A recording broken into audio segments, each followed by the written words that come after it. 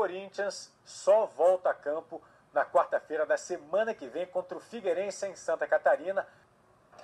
Uma semana e meia só dedicada aos treinos. Porque o futebol é assim, muito momento, né? Adicionalmente, o primeiro compromisso do calendário corintiano é a Florida Cup, uma competição disputada nos Estados Unidos com forte apelo da comunidade latina. Sendo assim, não dava para ficar sem comentar a principal notícia do dia. Ainda bem que eu acompanhei hoje o noticiário, então tô mais ou menos por dentro, né? Complicado, né? Vamos ver aí que, que, qual vai ser a nossa recepção lá, o que, que nos espera, mas eu acho que não vai ter nenhum problema não.